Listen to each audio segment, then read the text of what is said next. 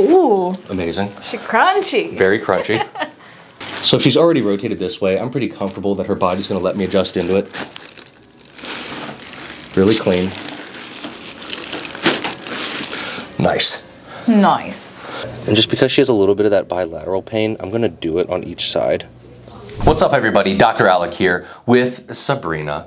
Um, and today we're going to be talking about what I could broadly call like a benign acute torticollis. Um, and I, I quantify it as benign because for any clinicians or students out there listening, I understand that a torticollis has many other acute causes.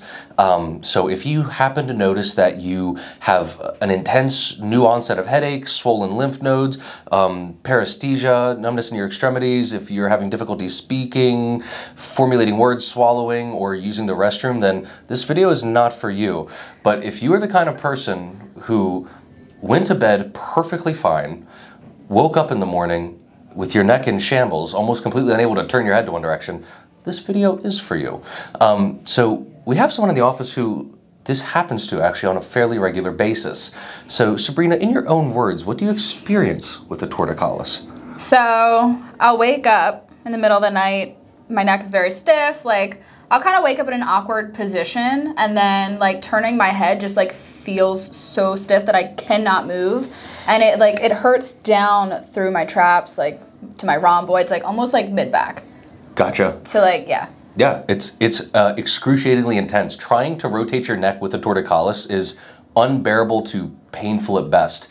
Um, and so, from a technical standpoint, what's happening is your body is attempting to offload a contralaterally irritated facet. So, what you're going to see is a lateral bend in a contralateral rotation away.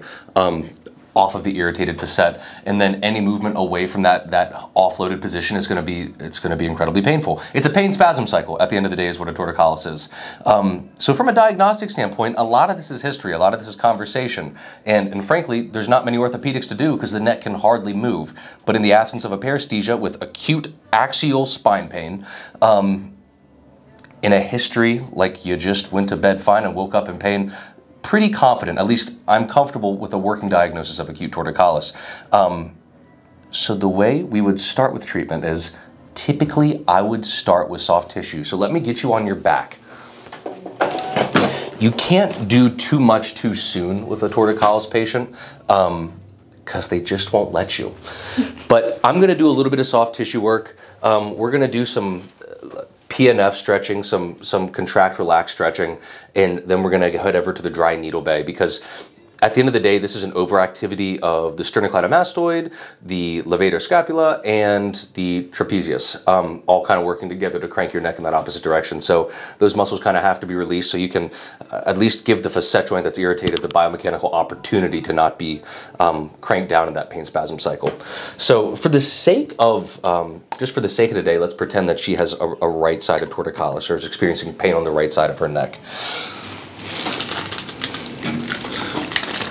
So I would just come through here, and it's important to remember that the levator scapulae, although it is, it is an upward rotator of the scapula, and it's gonna, uh, it's gonna, one of its attachments is down here. The levator scapula anchors on the transverse processes of the top four cervical vertebrae, so it ends up being important to do a lot of work up top.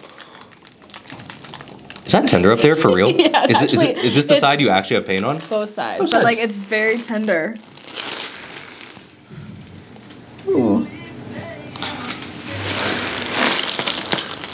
So I might be taking a little bit of a liberty with Sabrina's neck. Someone with a torticollis might not let me move it quite this much.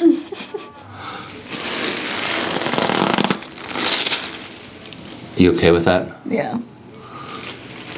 You say it's this side as well? Mm-hmm. Bilateral? My lord. okay. Well, how often it happens, it just I feel like it happens, Happens once on every six sides. weeks, monthly. monthly. Maybe. So uh, it's hard to say. It's hard to say what exactly causes a torticollis because you're you're sleeping while it happens, but it's a it's common if you have a window open or if you have a particular side of the room that the the fan is on. So essentially, like the direction of draft.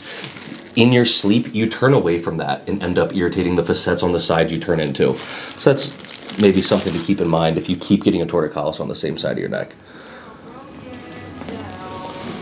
So this is me working on her traps a little bit. Mm-hmm. You okay? Mhm. My traps are tight. Good lord.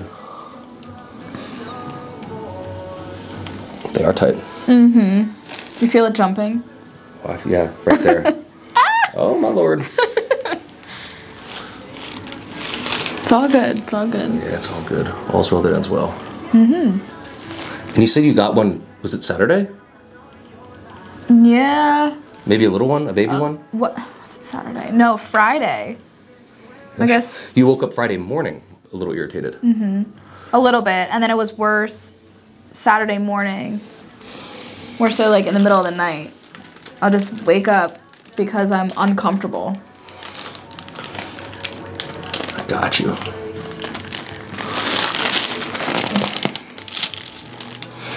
So it's it's not it's gonna maybe lack a little bit of relevance because she's not in acute spasm, but a way that I could get through a neck that is spasming harshly is I would say, Sabrina, could you push your head into this hand? Five, four, three, two, one. You could stretch it a little farther. And this is that stretch, relax, that contract, relax kind of stretching. And then from this new position, I would say press into my hand again. Five, four, three, two, one. Relax. And I could kind of strip against that as I stretched it farther. You okay with that? Yeah. Okay. So I'm gonna come in and get her first rib. Look to your left for me. Grab that opposite shoulder. Ooh, Amazing. she crunchy. Very crunchy. Your right for me.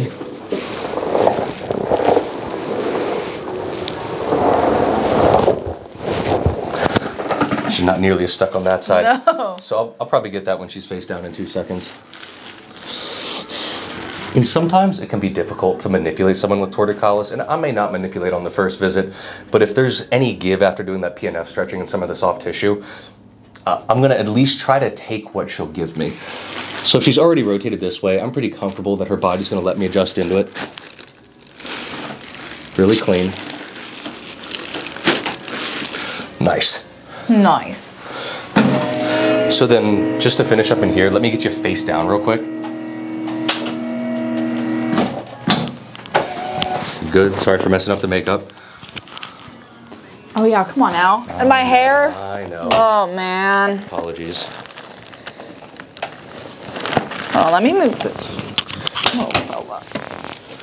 Uh, you okay? Now I'm good.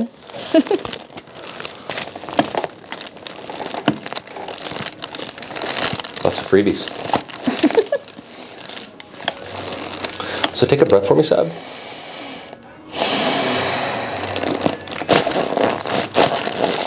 Nice. You okay there? Yeah. I feel like there was more freebies than. The- more, yeah, more freebies than what I went for. Okay, so that concludes what I do in the room with someone with torticollis. Um, the next phase of this is to head over to the dry needle bay and get those muscles that I talked about. So I'll see you there. Why do you keep that to yourself? I don't know. I just like deal with discomfort. And I go on, and then I forget about it. You're a 'cause I'm soldier. Dealing with other people's discomfort. Hmm. That's what we do.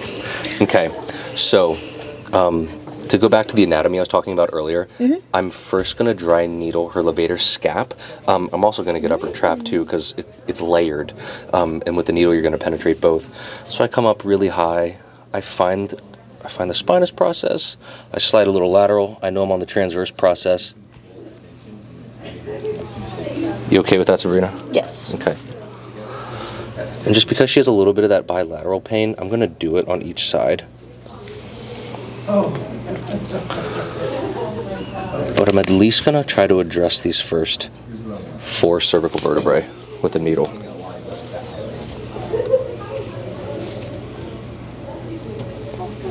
Nice.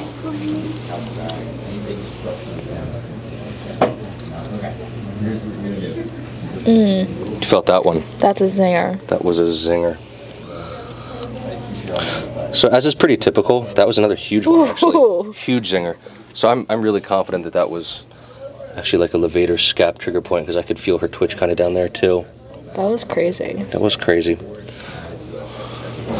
So it turns out your levator scap is is legitimately irritated. Okay. So that's that's the upper part of the levator scap, and then I come in here, I find the superior margin of the scapula. Where's she at here? Yeah. And so the levator scap inserts right around the corner of the scap, just superior to the spine of it. So I'm going to be careful to sink a couple right. Nice. Right where I know the levator scap lives. Perfect. And then I'm going to slide just a little superior. I know this is still upper trap, maybe partially mid trap. But certainly mid trap as I get into this region.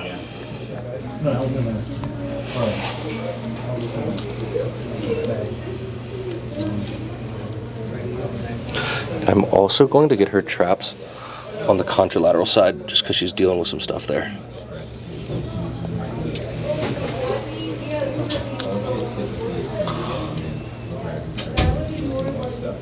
Ooh. Another huge trigger point on that left trap.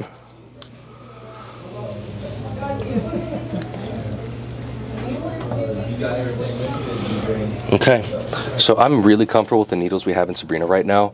Um, I peppered all the major muscles. If I was feeling adventurous, I might even sink a couple in the SCM, but I'm comfortable that I addressed it with the PNF and soft tissue work in the room. So I think I'm just going to leave it at levator scap trap and um, what else did I do? Like levator trap, scapula, levator scapula trap. Okay, yeah, I got them. Um, so she's going to cook for 10 minutes.